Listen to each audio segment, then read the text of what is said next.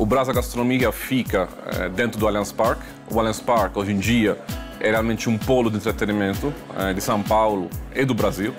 É uma visão muito privilegiada é, para ver um jogo, assistir um show que fica realmente na frente do palco. No dia a dia, abre normalmente com um restaurante para almoço e jantar, mas durante jogos e shows nós vendemos pacotes que incluem a parte de gastronomia é, e ingresso para assistir o jogo ou show.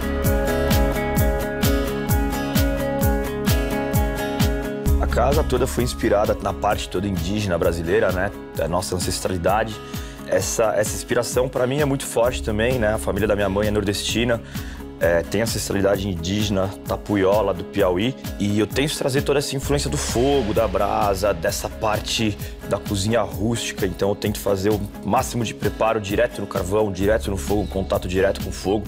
Trouxemos a brasilidade em todos os elementos da arquitetura, da decoração, mas também da gastronomia.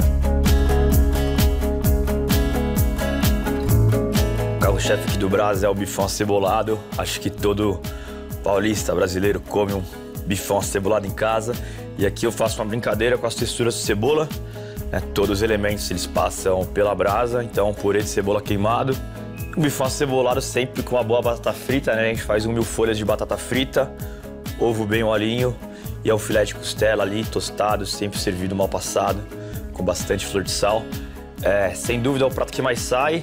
Acho que nunca ninguém imaginou em comer um bifão acebolado no churrasco, mas eu acho que é um prato unânime aí na cozinha e na mesa de todo paulista. Como bom paulista que sou, tento trazer isso aqui pro Brasa. É um brinde a São Paulo, um brinde ao churrasco, um prato que eu acredito bastante e que ainda bem que os clientes têm entendido e têm pedido bastante.